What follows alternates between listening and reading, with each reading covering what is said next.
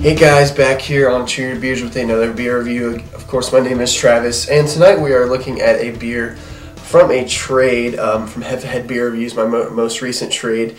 This is um, a beer I've never had before. This is Highland Brewing Company's Kashmir IPA. Um, India Pale Ale it says right under that, and I've had um, I think their Gaelic Ale and maybe another beer that they've made. I don't remember them very well. I did a trade from a guy from North Carolina about a year ago and got some of this beer. So I've heard of the brewery. I know nothing about this beer. There's not much of a description on the side. Um, pretty uh, generic, but uh, I'm pretty excited. I love IPAs, so let's get into it and uh, see what we have here.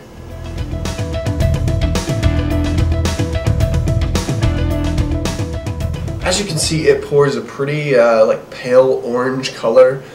Uh, very thin head, not uh, kind of sticking around, doesn't stick to the glass too much.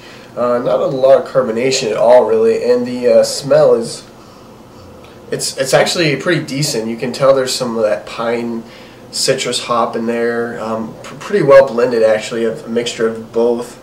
Yeah, it's maybe like actually just oranges. You can definitely smell oranges in there um, and some of that pine needle, pine kind of smell. Um, and then you do get a lot of that malt, so you can tell the malt is there, and the smell is actually very well balanced in between both. Um, so this smells like it's going to be a very balanced IPA.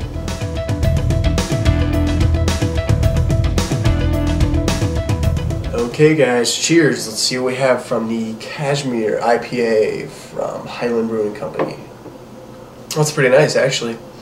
Um, their other one I was uh, I actually remember I was uh, not very impressed with. I, I didn't enjoy it that much. Um, but this one I definitely like so far. Um, it's drinking, the mouthfeel in the first taste was very light, very easy to drink, so um, pretty pl pleasing on the palate, and it's very well balanced so far. Yeah, it's not hitting you with a ton of bitterness. It's almost just enough bitterness, just enough malt, and just enough hops. It's kind of this like perfect balance in between um, all three of those, and um, I'm really not pulling out a ton of citrus in this at all in the taste. It's more of a pine, uh, floral, bitter taste on the tongue. Um, and some of that malt, it's not a su super sweet malt, it's just, um, the malt's just kind of there, you know, it's more of a pale malt taste. Um, still a pretty good beer. Yeah, not pulling a, a, a whole ton out of it. It's um, kind of giving me the same taste uh, as I drink it. But let me sip on this one for a little bit, guys, and I'll come back with my final thoughts, my rating on the Kashmir IPA from Highland Brewing Company.